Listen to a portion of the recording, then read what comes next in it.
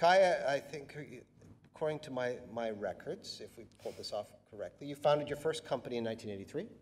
82. 82, Trantex? Went from a one-person business to over 250 employees with sales of over 10 million. She spent some time in Germany, the US.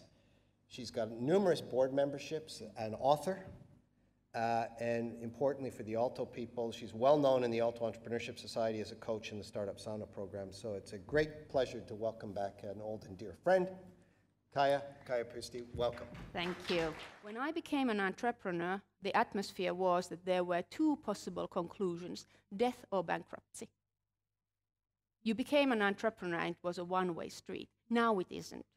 You become an entrepreneur. You, become, you can become a serial entrepreneur. You start up your company, and then you go and work for a bigger company, or you have a company and you work for a bigger company at the same time, and you can do many things at the same time, and I absolutely love it. Because now we are no longer put in this one box. You are, you have a uh, Master of Sciences from technology. You work in this kind of a big corporation, and that's it. You have worked your the first 10 years in, say, IT industry, you will stay in the IT industry. Actually, we have realized that we can change. And that's marvelous because life is way too short and too valuable to be boxed in. Don't ever let anybody do it for you. That seven random thoughts when I was saying, I wish I had known when I started. These are partly them and partly like over these 30 plus years, I've really learned to appreciate this. And the first is the importance of team.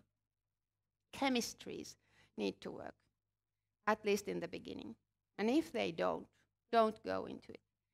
Things change over life. You may start a company with people, and then things change and you realize you don't work well together.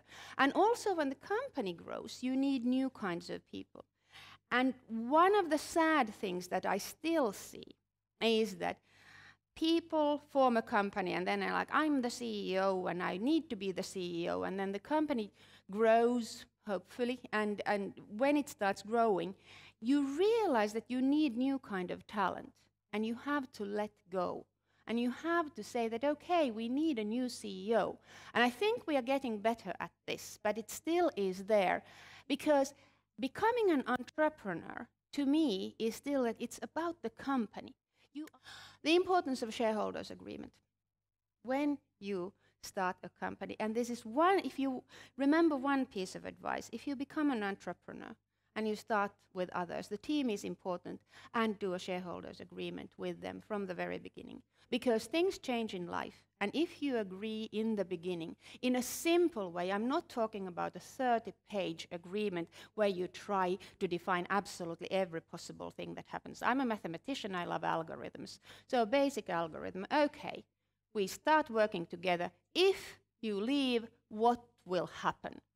And I strongly suggest that you put in a clause where if somebody leaves, they have to offer back their shares or at least part of the shares. Because I have been cleaning now sitting in boards and cleaning up companies with no shareholder agreements with incredible amount of passive shareholders and in worst case even antagonistic shareholders. And I do think that yes it's important to think of funding. It's very good that we have public funding and it's good to do the funding pitches and so on. And yes there are many cases where you really need investor money, but always think of who is going to be a paying customer.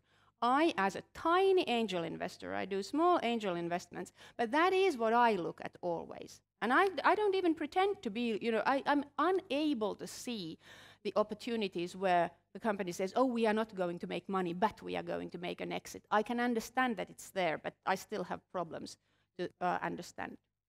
Focus does not mean that you sit and plan for one year and because you know best. The focus is that you think of your idea, you believe in it, and then you think, you know, what can I offer to the customers? And if you think of 10 features that you could offer, you throw eight away, and then you focus on the two, and you choose which one you execute. Because if you are a team of three or even five, you will most likely not be able to execute the 10 features properly. Focus on the one that is the most important to your customer. Execute that, make sure that that works. And also, by the way, customers want simpler solutions than you think.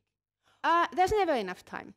This is life in startups. So yeah, it's, it's a great experiment in learning how to prioritize and how to try to manage your life so that all the hours actually are there to do the stuff.